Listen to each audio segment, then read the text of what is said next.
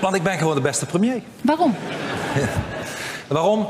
Omdat ik denk ik heb laten zien met de start van een nieuwe partij, met veel tegenslagen, rechtszaken, bedreigingen, noem maar op, om pal te staan voor mijn woord, pal te staan voor mijn wensen, pal te staan voor Nederland en dat Nederland terugveroveren van de elite aan de mensen in het land. Daar doe ik het voor en dat maakt een goede premier.